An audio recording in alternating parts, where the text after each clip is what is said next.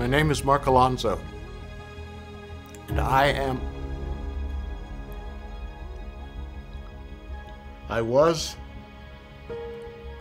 a racist cop.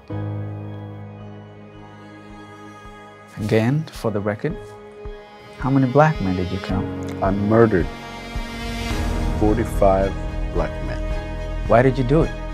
More breaking news. Massive numbers of police officers around the world are confessing this morning to the murders of black people during their careers.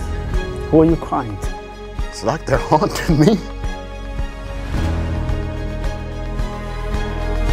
It's shocking the world. Perhaps these officers are starting to heed Aden Allen's plea for change.